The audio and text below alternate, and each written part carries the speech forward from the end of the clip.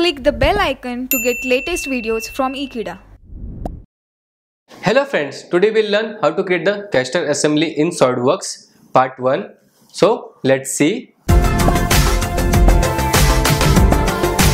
Now let's see how to create the caster assembly. So before creating the assembly, we'll be creating the parts for the assembly and then we'll be assembling them in the assembly modeling in SolidWorks.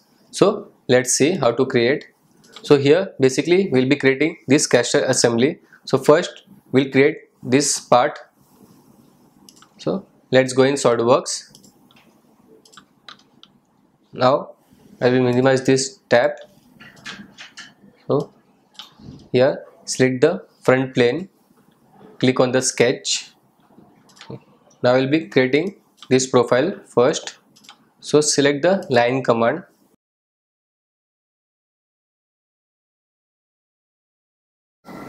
now we'll just draw the sketch as per given.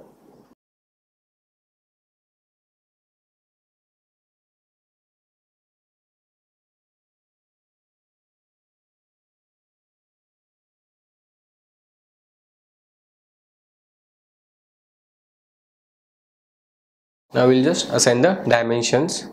So go in the smart dimension. Basically this is of 44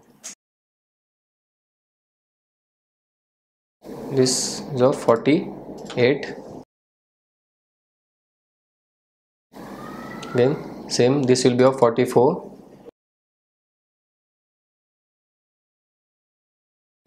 this of 12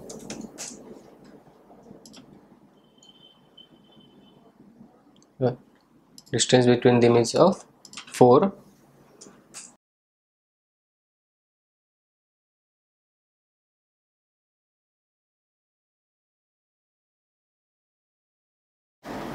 go in the add relation. Select this point and this point. Make them horizontal.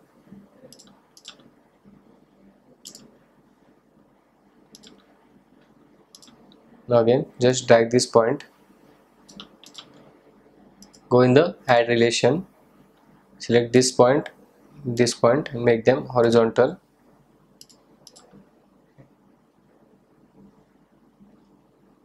Now again go in the add relation. Select this line. And this line. Make them equal.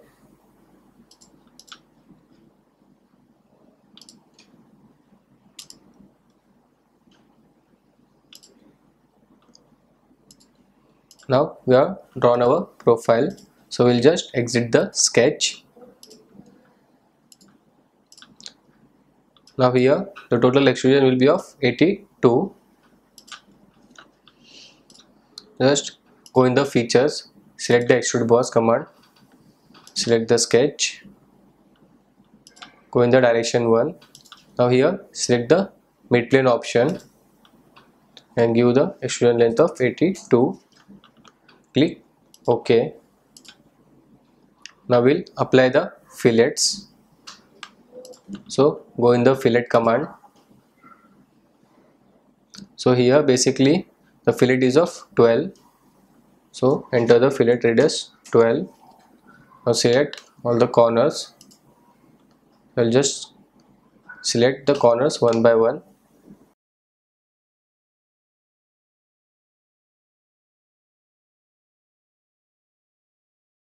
Click ok now we have to create this four holes as per given. So for that select this face click on the sketch make it normal to just select the circle. Now here the diameter is of 11 so we'll draw circle of diameter 11 again select the circle. Enter the diameter of 11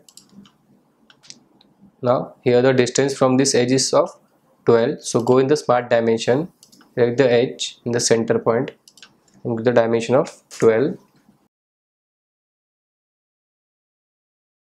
uh, the center distance between both of the circle is of 58 so we'll just select the center.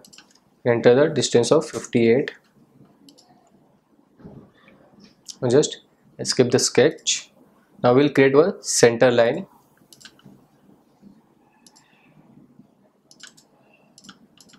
I will mirror these circles on right side. Select the mirror entities. Select the entities to mirror. Click on the mirror about and select the mirror line. Click ok. Now then go in the smart dimension. Here the distance between this is given as 112 so select the centers and give the distance of 112 now go in the add relation. Select this point and this point and make them vertical. Now sketch is fully defined. Just exit the sketch. Now select the extrude cut option and select all the four circles. Again go in the selected contours and select the circles one by one. Click ok now first part is created. So we'll just save the first part. For that go in the save as option. I'll just save it on the desktop. As my first part. And save it. Now we'll create the new tab click ok. Now we'll create the second part. That is axle. Just minimize this tab. Now here to create the axle there are two methods. We can just simply create the given circles and extrude them or else we can use the revolve command. So here I will be using the revolve command. So select the front plane click on the sketch.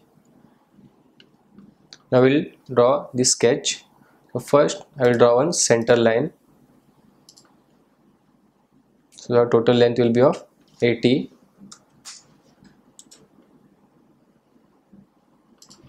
just double click on this. Now here I will draw the given sketch. So select the line command.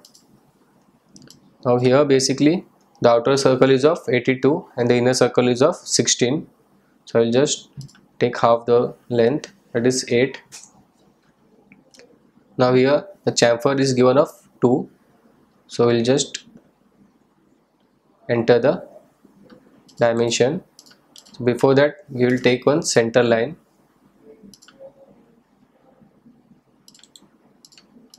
Now go in the smart dimension take this distance as 2 and here the angle is of 45 so we'll give the angle.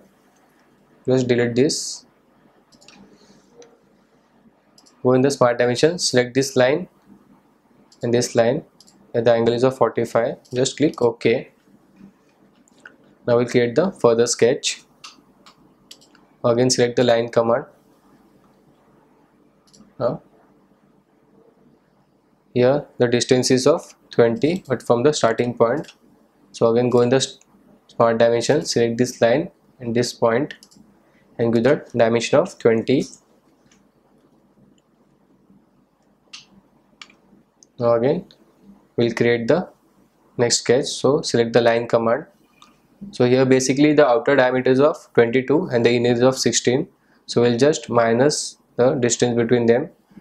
So it will be 6 so this distance will be of 3 so I'll just give the distance of 3 and draw the line of 40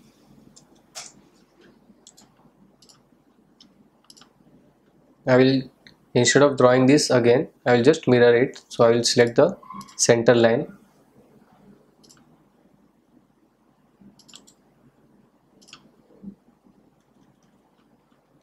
Go in the mirror entities select the lines to mirror. Select the mirror about line. And click ok. Now a sketch has been drawn. Now just exit the sketch. Uh, here this line is has been not mirrored. So again go in the sketch.